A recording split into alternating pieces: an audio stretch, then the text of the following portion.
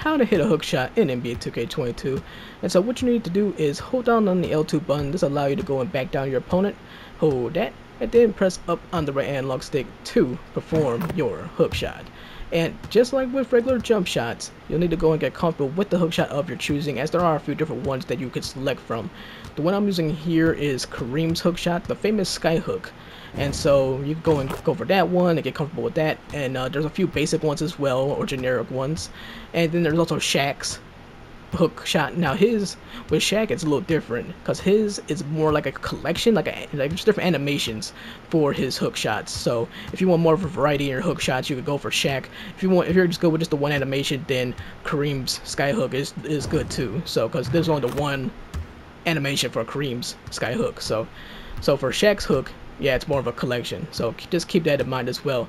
But yeah, that's really it though. So back down and then press up on the analog stick to go and do the hook shot. So it's a it's a good move. It's an effective move. It's a move that not a lot of people do nowadays. If you even even for bigs, a lot of times with bigs they'll just kind of back in and just kind of power their way through and score in the paint like so. So a lot of people who have centers they tend to play more of a Shaq role, try to use power and brute force to get into the get into the paint and score. So, and that's fine too.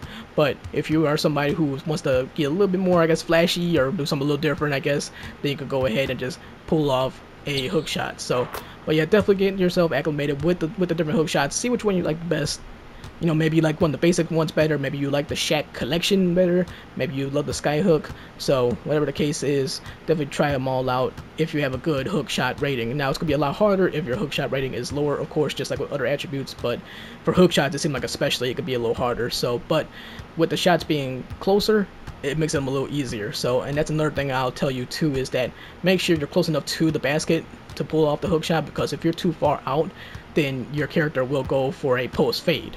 So, and you don't want that to throw you off. Even if you're good with post fades, it might still throw you off because you might be expecting a hook shot, but he ends up going for a fade. So, if you're like about right, uh, probably here, that's when you'll be going for the, the post fade pretty much. So, yeah, so keep that in mind as well. Might even be a little closer. Yeah, like even even closer like that, you still go for a post fade. So make sure you're at the right spot to pull it off. So I'd say uh, let's see, on the Bulls logo might be a good spot. Yeah, Bulls logo is probably the starting point around that area. It's a good point to do the sky hook, so, or any hook that is. So, yeah, so that's the best point. So right around here is a sweet spot. So make sure you don't go further out. If you go further out, then you will be doing post fade by accident. So just keep that in mind when you pull up and things like that. And you know, post fade, you know, there's more ways of doing that anyway. You can pull up if you're further out, or you could go from, or you go right or left with the analog stick if you're closer. If you want to do a, a post fade, so like right right there, I was a little closer, and I just did a post fade there. So I just moved the an right analog stick to the right to do that, and I could go left with that as well. So yeah, that's basically that's basically how the the uh, post fade works anyway. So that was beautiful.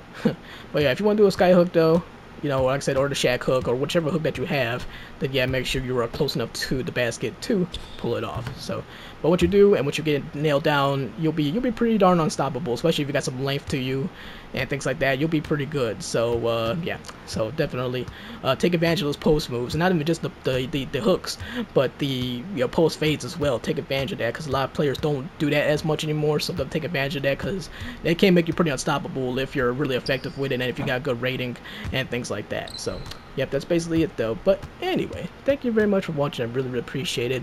If you did find this video helpful at all, then definitely feel free to subscribe. I really appreciate that. We'll be doing a lot more NBA 2K videos going forward and uh, it's going to be a lot of fun. We're going to be doing more tips and tricks and maybe some other stuff as well. We're in an early stage here on this channel. We may do some other sports games as well. I do have a couple of like the golf games in mind.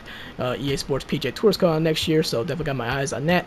Uh, Riders Republic is another game we've been doing a lot on on this channel, so we may do some more Riders Republic as well. If you haven't seen Riders Republic, I think you'll, if you look at the older videos or anything that new that we post or anything or any video that you see, you you might like it. So you might like it, say, wow, this game looks pretty cool because it is a very fun game. It's a be beautiful looking game, and like I said, it's just a lot of fun. So we might be doing a little bit more of that as well, but it'll be a 2K is going to be the main game for the most part here.